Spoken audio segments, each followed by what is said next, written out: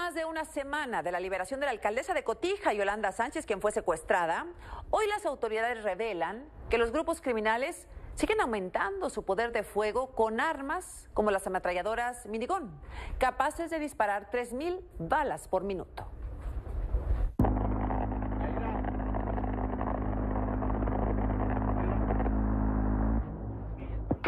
Lo que se escucha no es un helicóptero, son las ráfagas de una ametralladora XM-134, conocida como Minigun, que por segundo dispara 50 balas calibre 7,62 milímetros, capaces de destruir un helicóptero en minutos.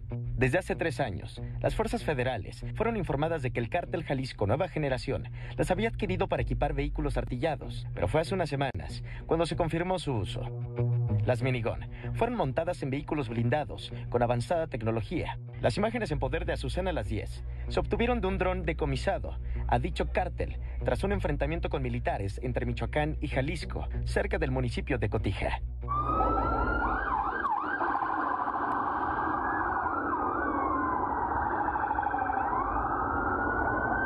Iban saliendo de ahí y ellos se toparon y le iban a pisar y después cuando hicieron.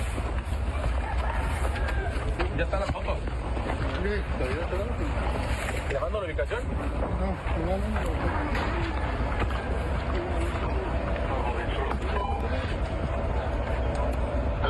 Váyanse al con zorro, váyanse al con zorro.